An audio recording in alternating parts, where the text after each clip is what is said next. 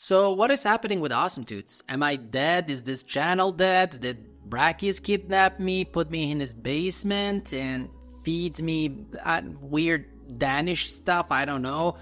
Or maybe I'm creating a game that's gonna be the best game ever. Well, none of that, but I am working or I worked on a really cool project, and this project is concerning you as well because I have created a marketplace for 3D characters. Well, I'm managing it, but my friends created it. They are the designers, they take all the credit, and the marketplace is crazy. The website is called yos3d.com. You can hop on it, you can see all the characters, but currently I'm previewing some crazy characters and they are previewed from Unreal Engine. I'm not gonna preview them from Unity because let's face it, you know, uh, it's just better. The preview is better Unreal, it's better graphics.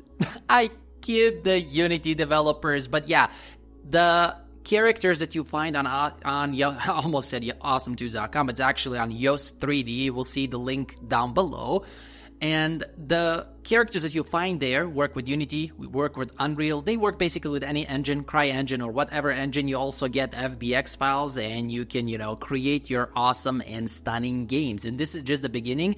We have probably around, I don't know, like a couple of hundred game characters scattered in different and various packs. You can check them out. I mean, I'm previewing different characters right now. They're really crazy, as you can see, and stunning and all of that stuff and they are fully rigged for full disclosure. Full disclosure. Sometimes I don't know how to talk. Full disclosure. They are fully rigged. They are amazing. They're stunning. They're crazy. but yeah, they're rigged, ready to go in Unity and Unreal. You can easily retarget them with any animation or for any animation inside of Unreal because they are rigged on the default mannequin, which most of the characters are that you know are optimized and rigged the way it's supposed to be. For Unity, just put them on humanoid rig and you are ready to go. I will probably create tutorials.